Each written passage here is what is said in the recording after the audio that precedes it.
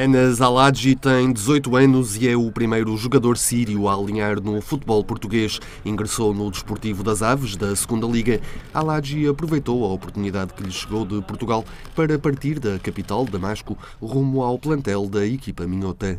أنا اخترت اللعب بالبرتغال لأن كان حلمي أنا وصغير إنه ألعب بأوروبا والحمد لله تحقق هذا الحلم إنه صرت هلا أنا بالبرتغال وهي بلد أوروبي وإن شاء الله أقدر أعمل شيء منيح لبلدي سوريا وأرفع رأس بلدي إن شاء الله الصعوبات اللي مريت فيها هي كان إنه رحنا البلد سوريا عم تمر بأزمة هلأ أنا سافرت على تركيا لتقديم على السفارة البرتغالية بأنقرة والحمد لله مع تعاون نادي أفيش قدرت أحصل على الفيزا وإجي على البرتغال No futebol português, Ana Zalagi tem como maior fã Cristiano Ronaldo, mas o melhor de sempre para si é mesmo o Di Maria. Ele provavelmente diz isso pela fantasia e, uh, e as características do Di Maria.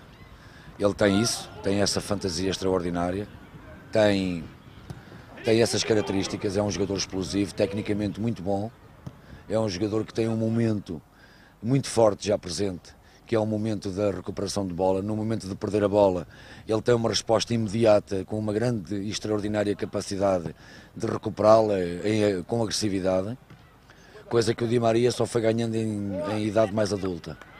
E portanto ele eu acho que se está a fixar num talento, num ídolo, que me parece a mim que tem tudo para fazer também dele, à semelhança do Di Maria, um futuro extraordinário.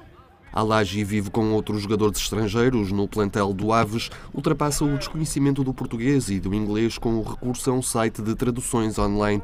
É assim que comunica com o treinador. Foi assim também que pôde conversar com os jornalistas. Vai-se assim adaptando à cultura e ao futebol portugueses. نعم هذا صعب بالنسبة لي بس لازم أتأقلم أنا للاعب كرة قدم أكيد بيجي بيكون حلمه هو إنه يسافر برات البلد بقدر عم بقدر أتواصل معهم. هن الحمد لله بسوريا بمنطقه جيدة ما ما لا إنه لا يوجد بها مشاكل.